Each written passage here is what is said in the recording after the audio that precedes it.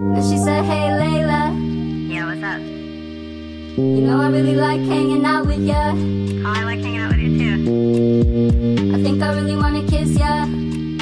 Wait, really? Yeah, but I don't wanna scare ya. Oh no, it's cool. The next thing I know, Sarah took me to the bathroom.